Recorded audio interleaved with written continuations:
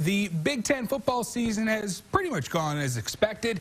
Northwestern and Indiana both leading their divisions at 4 and 0, with Penn State and Michigan combined for one and seven, just like we all expected, right?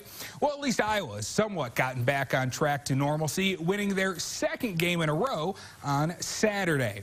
As for the Hawkeyes' next opponent, the aforementioned Penn State will host Iowa on Saturday with an 0-4 record, fresh off Nebraska, picking up their first win of the season over the Nittany Lions on Saturday.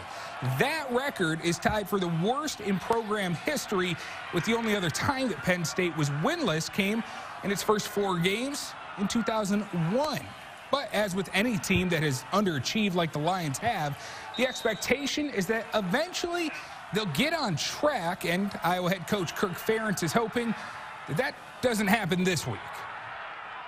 It just doesn't add up, you know, especially when you watch the film. So does, doesn't it add up at football? You know, you've heard me say it before. Football is a strange game. You just never uh, can predict everything's going to happen.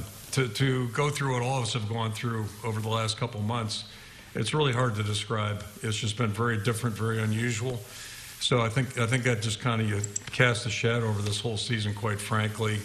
Um, you know, I mean, if you just got an awesome team and, and you got all kinds of depth, then it's really not that big a deal. And there's there's a handful of teams like that in the country, but uh, I think once you get past that group of people, it's it's really you know hard to say what's going to happen or was predict what's going to happen.